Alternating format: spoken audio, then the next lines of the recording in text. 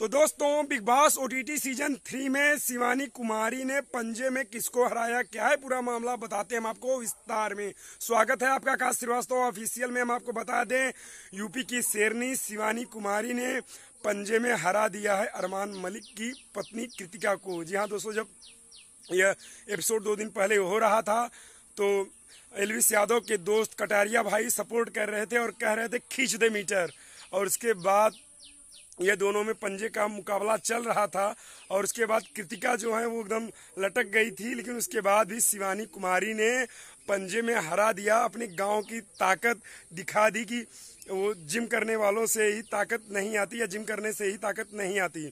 और शिवानी कुमारी के जो दोस्त हैं, लोकेश कटारिया, वो पूरा सपोर्ट किया शिवानी कुमारी का।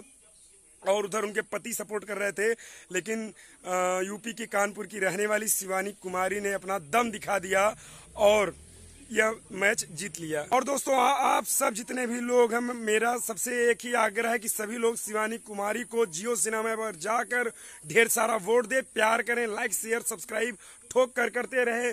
जैसे ही शिवानी कुमारी जीत कर आती हैं Bigg Boss OTT season three, ये हम आपको मिलाते हैं सीधा शिवानी कुमारी से। तो दोस्तों, कैसा लगा ये वीडियो? अच्छा लगा तो लाइक करें शेयर करें सब्सक्राइब करें। मिलते हैं आप किसी नेक्स्ट वीडियो में।